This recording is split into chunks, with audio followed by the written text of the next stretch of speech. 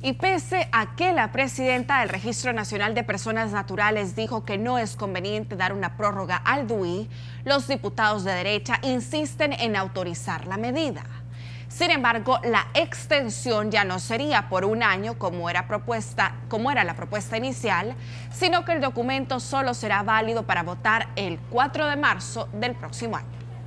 Única exclusivamente para que los ciudadanos puedan e-, ejercer el derecho de elegir el 4 de marzo, no para otro tipo de trámite. Si el presidente de la República lo veta, mandará una pésima señal hacia los salvadoreños de menos ingresos que no pueden ir a renovar el DUI y que no tienen 10 dólares para hacerlo.